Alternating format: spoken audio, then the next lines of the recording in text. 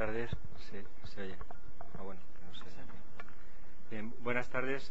Eh, quería empezar agradeciendo a Alfonso López Yepes la organización de las jornadas porque, y, y reconociendo el esfuerzo que esto supone y creo que esto relacionado con la autoría y las acciones que hay que hacer pues y de las que voy a hablar después creo que no debe pasarse por alto la organización de estos coloquios que creo que pueden crear una masa crítica para el pensamiento y para la acción sobre las publicaciones electrónicas como figura en la página web mi intervención va a versar sobre la definición de los del acceso abierto de algo que se está hablando aquí durante toda la tarde y me parece también que esta mañana el rato que pude asistir eh, en particular a, abordo la cuestión de la iniciativa de Budapest, de cómo está formulada y también de un reciente, más reciente manifiesto, es de marzo y quiero contextualizar la bisoñez de todas estas iniciativas, tienen falta de experiencia y por tanto tienen muchísimas contradicciones y muchos errores y decía de la IFLA también que ha eh, lanzado un manifiesto que aparece como borrador sobre el acceso abierto y también sigue, como se ha comentado aquí, las opiniones como la de Harnad, Oppenheimer, de la iniciativa SPAR, el Create Chance, el, el Creative Commons y el Centro para el Dominio Público también como iniciativas que están fomentando esta idea del acceso abierto. Lo voy a centrar en las publicaciones electrónicas y básicamente hay dos modelos, como creo que se ha repetido bastante, que es el modelo comercial de acceso a través de suscripciones y diversos sistemas de licencias y pago individualizado por artículos. Y otro segundo modelo, que es el de libre acceso, que permite a cualquiera la lectura de, del contenido a texto completo sin ningún pago directo. Estas serían las dos formulaciones iniciales y hecha esta visión clara de qué se entiende por, los dos modelos, de los aspectos básicos, eh, quería considerar cuatro aspectos. La primera, si las publicaciones electrónicas ahorran costes. La segunda, en qué consiste el acceso abierto a las publicaciones electrónicas científicas la tercera, qué requisitos han de cumplir las publicaciones científicas en un entorno electrónico. Y la cuarta, cómo se paga el acceso abierto o quién debe pagarlo, que son creo que aspectos todos bastante entrelazados. Eh, la primera cuestión, si las publicaciones electrónicas ahorran costas, costes. Este ha sido uno de los aspectos que he tratado en el último libro que se acaba de publicar hace unos días del impacto de las publicaciones electrónicas a la que aludía María Antonia en la presentación y quería hacer algunas consideraciones. Primero, la industria editorial y en general la industria de la información tiene que hacer frente a unos costes muy altos de la primera copia, mientras que el coste de las reproducciones es muy bajo. La segunda cuestión es que los derechos de autor facilitan la apropiabilidad de la información y crean un monopolio de hecho y de derecho, circunstancia que impide una competencia en los precios, como se ha comentado también aquí. En, eh, siguiente, a continuación, quería señalar que la introducción de las publicaciones electrónicas reduce los costes al prescindir de la fase de impresión de la publicación, pero conlleva la creación de una sólida infraestructura informática. Pero cuando se habla de la información libre o gratuita, se habla nos estamos refiriendo a, la parte del acceso. Eh, pero todas las, desde el punto de vista de la producción de estas publicaciones, todas tienen que hacer frente a unos costes más o menos importantes. Eh,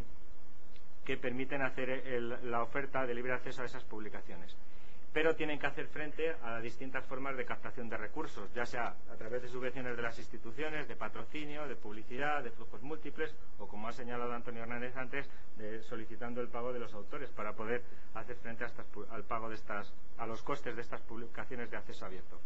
Bien, al ser las universidades y centros de investigación científica a la vez los principales generadores de información, esto a veces se olvida, y, asimismo destinatarios de la información, han impulsado un movimiento bastante sólido para aprovechar la infraestructura tecnológica que ofrecen estas, instituciones, pero esa utilización de la plataforma tecnológica les permite asumir la función y esa, esa asunción de la plataforma les permite asumir la función editorial en el entorno electrónico, pero por el contrario, carecen de experiencia y de prestigio, algo que señalaba esta mañana Emilio Delgado, en, como puede escuchar desde Granada. Por su, por su, parte, los editores tradicionales han incorporado ediciones electrónicas y bases de datos a texto completo a, a, través de las cuales han creado nuevas formas de acceso y de comercialización para los usuarios. Bien, y sigo hablando de los costes a pesar de que parezca que no quería hacer ninguna conclusión. ¿Y qué opinan los consumidores? Es decir, como se ha señalado aquí también, las bibliotecas que son los principales clientes de estas publicaciones, que tienen que hacer frente a una dualidad de formatos y al de la desintermediación. ahora les llega, como también se ha señalado, 500 revistas y no, tienen, no se sabe para qué, porque en muchos sitios ni siquiera hay ningún usuario. Eh, la introducción del formato digital junto al impreso les plantea a estas instituciones cómo mantener la colección de publicaciones periódicas y quién debe asumir la función de conservación, que ahora se pierde, y si se abandona el formato impreso. Hasta ahora, y esta es la principal conclusión sobre los costes desde el punto de vista de los consumidores, es decir, de los usuarios de las publicaciones, las publicaciones electrónicas ni ahorran espacio ni reducen costes a las bibliotecas. Esta es una conclusión que, por ejemplo, se puso de manifiesto en la reunión que tuvieron en Madrid la Asociación Europea de Bibliotecas o de Bibliotecarios Única. Eh, dicho esto, también es preciso reiterar, como ha señalado también Alfonso López Yepes, que la comparación puede hacerse entre publicaciones impresas y sus correspondientes ediciones electrónicas. Es decir, estamos hablando de dos productos completamente distintos. Uno son las versiones impresas o de las, eh, las, versiones digitales de ediciones impresas y otras son las publicaciones electrónicas, que es, como ha señalado Alfonso perfectamente, un producto muy diferente y que tiene una, un, eh, y lo sustancial es que eh, conlleva un elemento multimedia que no puede ser eh, compatible con el formato impreso y cuyo modelo de costes desconocemos porque todavía no se sabe. Sobre la segunda cuestión, ¿en qué consiste el acceso abierto en las publicaciones científicas? En el entorno académico, acceso abierto significa dar libre acceso a los textos y a los resultados de la investigación científica sin cobrar ninguna clase de royalties ni de pagos. En un segundo nivel supone también que esos artículos, cualquiera que, eh, sea el, el, el, género literario o forma de composición, estén sometidos a un proceso de revisión por pares, como también se ha señalado. Eh, señalo alguna eh, dirección por si acaso se, cuando, para cuando se editen. Así, el libre acceso público en Internet debe permitir cualquier tipo de uso como leer, descargar, copiar, distribuir, imprimir, buscar o enlazar a texto completo esos contenidos y en general cualquier utilización honrada, es decir, bajo la fórmula conocida internacionalmente como fair use, sin ninguna barrera financiera, legal o técnica. La única restricción en la reproducción de los textos y el único derecho de propiedad intelectual de los autores es el reconocimiento de la autoría y de la integridad del trabajo creador, es decir, el derecho a ser reconocido y citado como autor, es decir, lo que entendemos en la legislación española como, o en la legislación continental como los derechos morales. En definitiva, el derecho de autor trata de proteger al autor contra el plagio y otras formas de falsa asignación de la autoría, pero nada más y ningún tipo de protección económica. Hay otras fórmulas parecidas a la del acceso abierto, que me parece importante señalar estas características porque a veces se habla de libre acceso y luego cuando no se cumplan ciertas condiciones te obligan a pagar o está restringido, etcétera. Quiero decir que lo que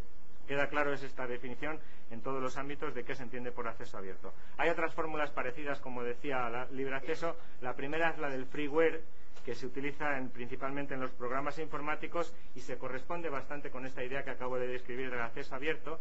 En este formato, el autor permite la utilización del programa para usos privados, pero retiene sus derechos de explotación sobre la obra, exactamente igual que en el ámbito de las bibliotecas del acceso abierto.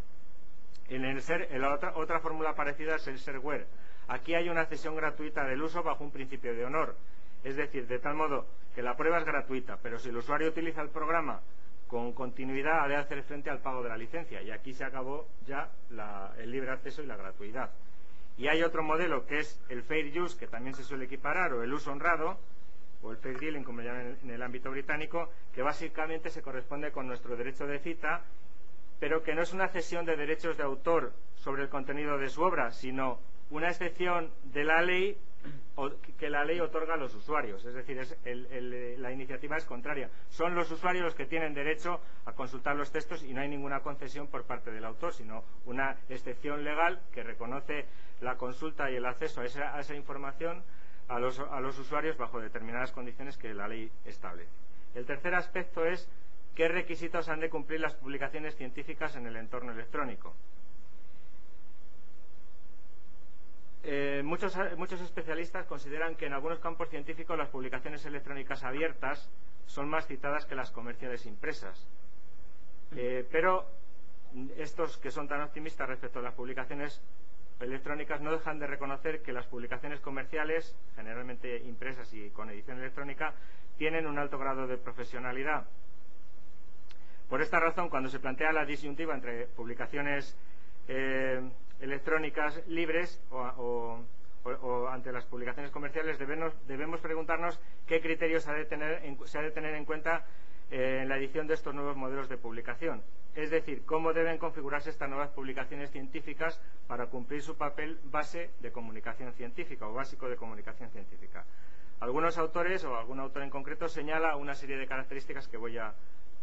indicar nada más. Costes los costes que conlleva esa publicación a, corto y a largo plazo, la velocidad a la que se accede, a la velocidad de comunicación, la,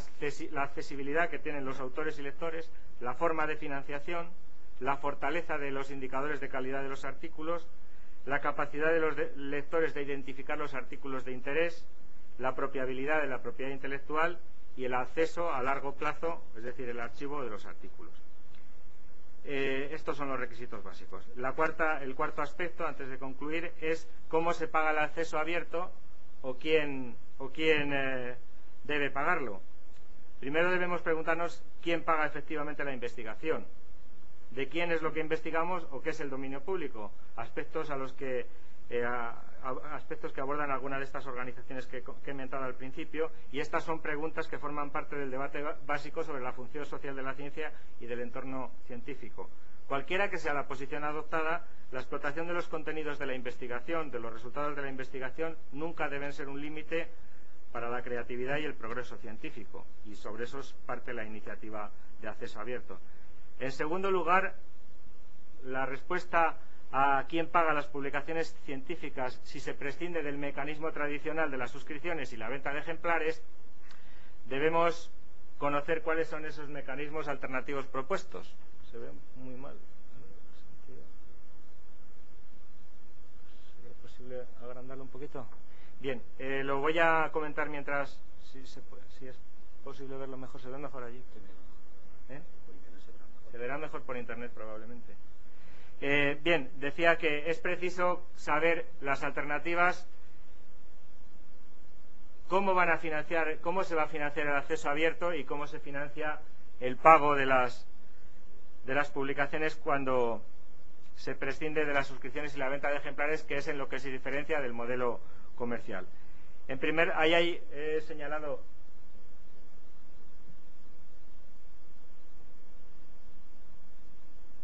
una serie de, efectivamente, creo, que casi se ve suficiente para poder distinguirlo.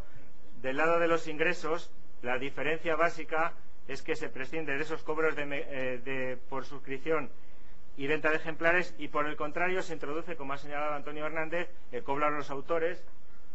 eh, que se sitúa en este contexto que le ha dicho, de los 500 dólares por artículo. Hay una variante entre si se cobra por artículos aceptados o artículos publicados y distintas alternativas según los modelos. También eh, se piensa, o los modelos, y hay un modelo de, explotación de publicaciones de acceso abierto, que también estará como la referencia bibliográfica en la página web. Eh, eh, también hay que tener en cuenta, o se cuenta con la posibilidad de vender ejemplares impresos y en CD, con la publicidad, con el patrocinio, con la organización de cursos y conferencias por parte de estas organizaciones que publican los contenidos científicos, a través de, venta de, de la venta de determinados contenidos a los agregadores,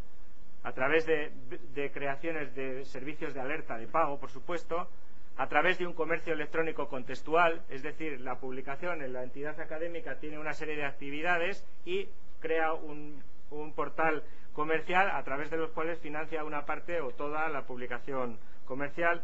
a través de donativos de fundaciones privadas y particulares y de subvenciones y por último a través de subvenciones públicas. Los gastos, evidentemente, como he dicho antes, son los mismos tanto si se cobra como si no se cobra y están constituidos, y lo había dejado para que se vea claramente,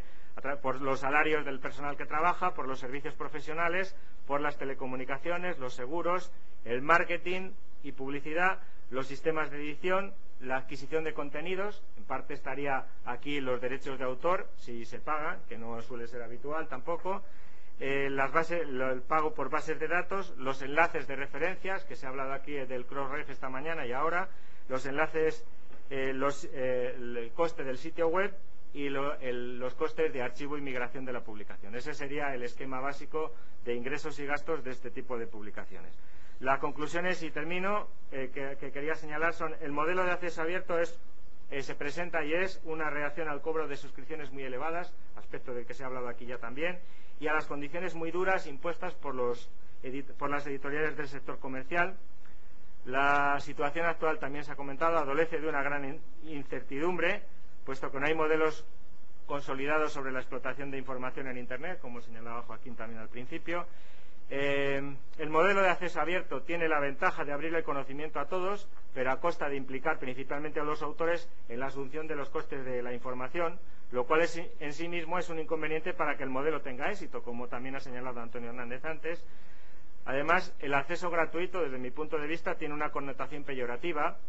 y de, minusvalidación del servicio de información y se agrava cuando tiene una financiación de origen privado, ya que cabe la sospecha de la manipulación. Lo razonable sería que las administraciones públicas asumiesen la difusión de información científica como un coste y una parte más del proceso de investigación. Eso no es incompatible con que en determinados casos y para determinados usos se debería hacer pagar al consumidor de la información. Con todo, creo que este movimiento de acceso libre eh, lo recibo con bastante entusiasmo, puesto que reconoce que la información científica es un bien que debe estar al alcance de todos y se debe facilitar su libre flujo para fomentar la creatividad y la innovación.